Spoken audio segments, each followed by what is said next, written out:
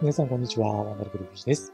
今回は、夢幻のごとく、続きをプレイしていきたいと思います。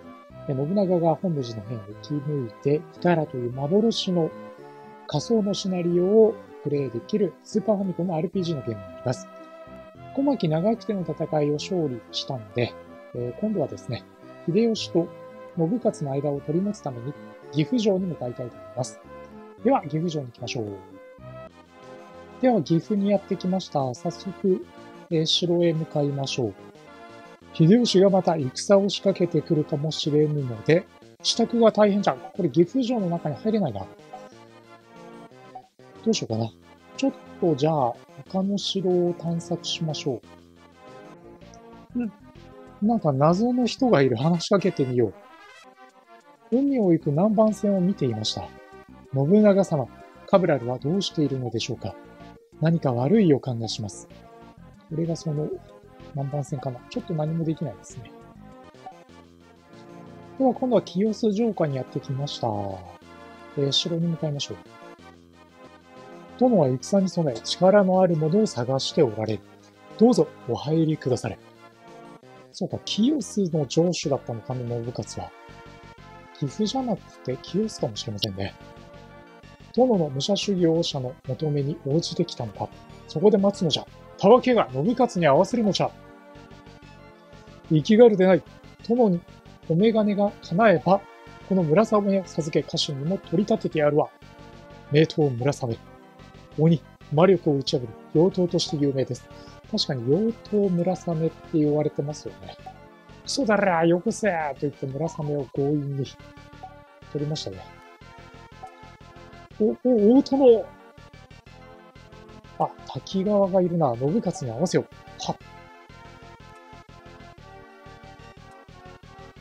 これで信勝と晴れて面会するんだな。ち、父上生きておられたのですかわしが簡単にくたばると思うか信勝、お前はわしにはなり、観念いたせ。ですが、このままでは織田家が、織田家のもどうでもよいわ。世界を相手にするのじゃ。信勝、面白いところへ連れて行ってやる。しかし、猿めは、猿と輪を結べ、日本は猿と狸にくれてやるわ。わかりました。信勝は父上に従います。信勝は秀吉との和睦を受け入れざるを得なかった。そして、この後、織田家は歴史の表舞台へ出ることはなくなった。父上。てんてんてんてん。信長はついに姿を現し、これ以上秀吉が家康と戦うわけにはいかなくなった。そして、滝川は和を結ぶ使者に立った。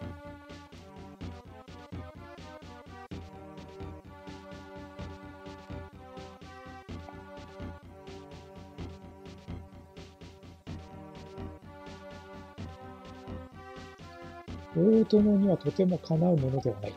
もはや逆らう術はない。信長の思惑通り、東国と西国とに色分けされ、これ以降、秀吉は東への進軍を諦めた。秀吉は四国九州攻めの腹を固めた。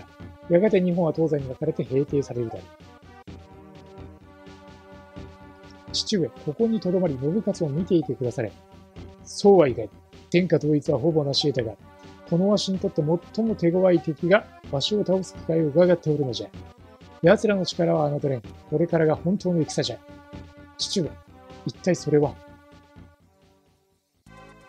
殿、沖合を不気味な南蛮船が東へと向かっております。現れおったか、信勝。わしは行くぞ。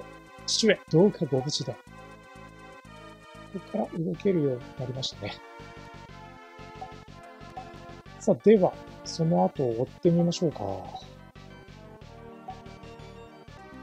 えでは、断盤線があるようなんですけど、その前にですね、美濃の方の洞窟を探索すると、義経の亡霊がいるらしいので、まずはそこを行ってみたいと思います。美濃方面へ向かいます。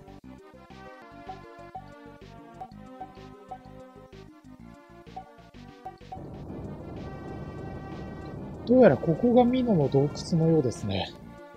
探すのに苦戦しましたが、ようやく見つけました。では入っていきましょう。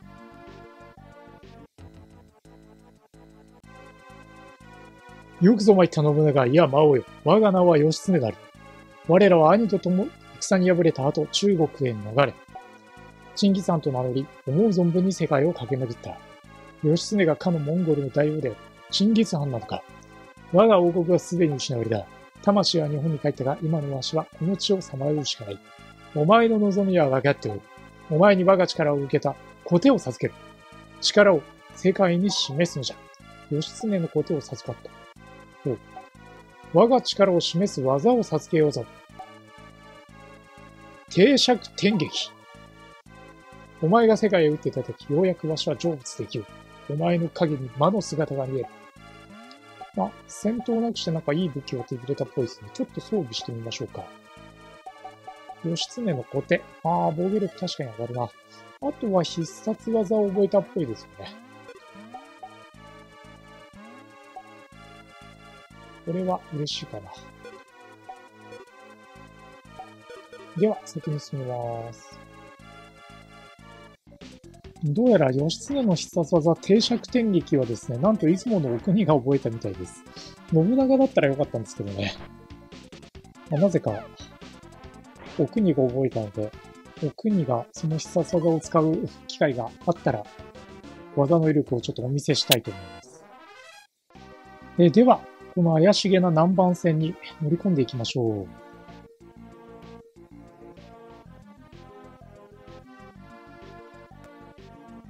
いや、これ単なる渡り船だ。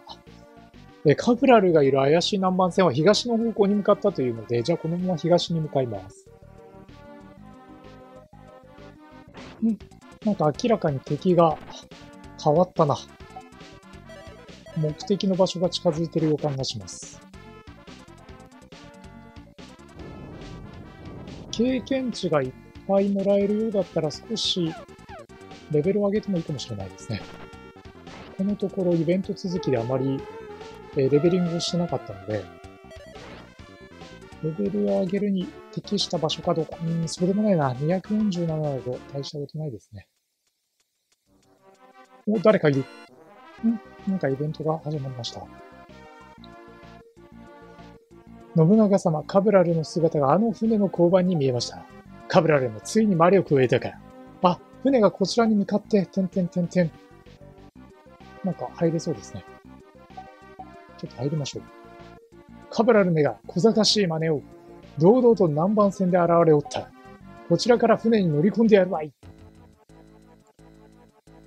う、うん、何やら、得体の知れない容器が漂っておるわ。ということで、ここからダンジョンですかね。進んでいきましょう。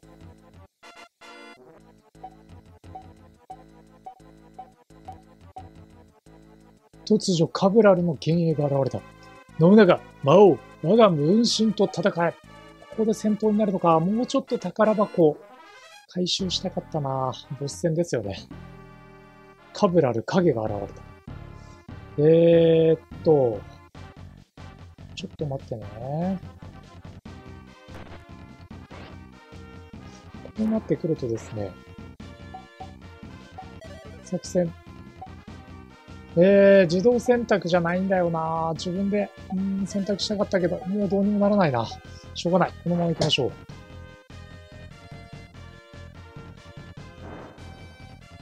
すげえ。勝てる気がしない。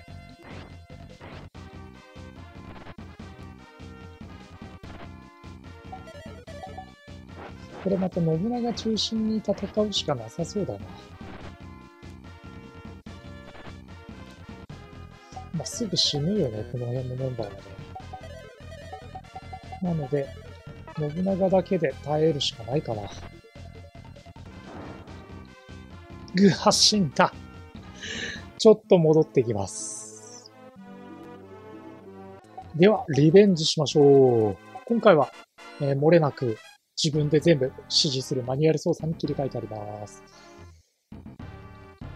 え、まずは、うーん、確実に防御力を上げて回りましょう。で、その間他のメンバーは回復に徹します。信長だけは十文字切り。えー、セーベもですね、ちょっとここは防御しておきましょう。防御。うん、いいね。確実に効く。効くのが分かったので、みんな一旦はボーゲルカップを使っておきます。で、ボーゲルカップができた、確認できた人から攻撃に転じましょう。この要領でちょっといきますね。で、信長の、えー、ポイントだけはちょっと高めに維持しておきましょう。あ、そうだ。回転前も覚えたので、これで防御力さらに全員上がるな。いや、これは戦えるぞ。これなら戦える。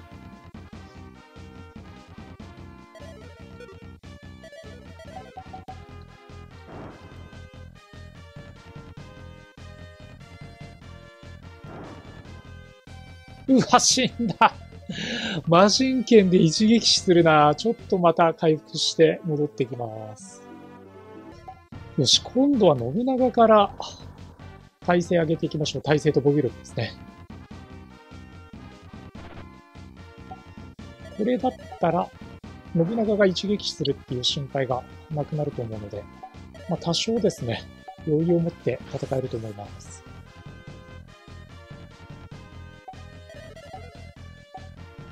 信長一撃死はもったいないからな。269! また一撃死か。これきついなさあ、再戦していきます。なんとか信長を最初に防御力アップをかけて、本当はですね、口封じ先に使いたいんですけど、一旦回転前で全員の防御力アップを狙いましょう。本当に強い。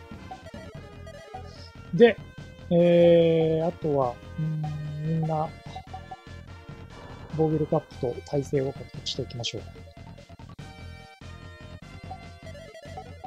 で、生命は一旦防御しておく心配があるので、信長も一回ここは自分で自分を回復しましょ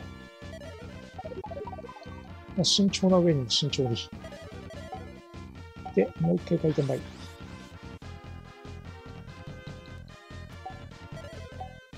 本当にね、怖いんですよね、一撃死が。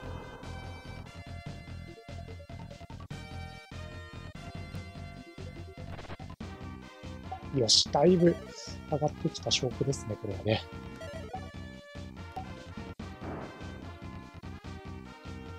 では、この要領でしばらくカブラルの影に戦いを挑んでいきましょう。口封じがうまく決まってくれたら、しばらくマシン剣の脅威から怯える必要がなくなるので、まずはそこまで持っていきたいですね。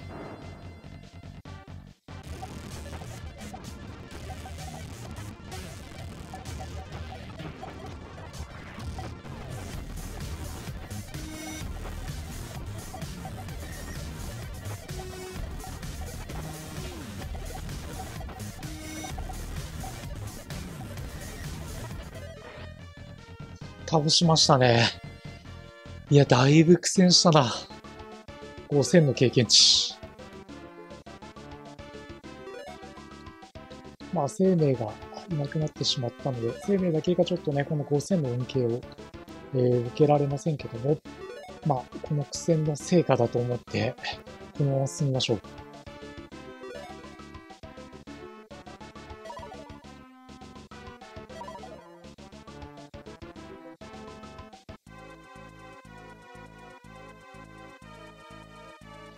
信長はカブラルの幻影を倒したと交番へだった。船が流れに逆らって走っておる。南蛮船は一人でに動き始めた。信長は船が向かう方向を見ていた。第五条。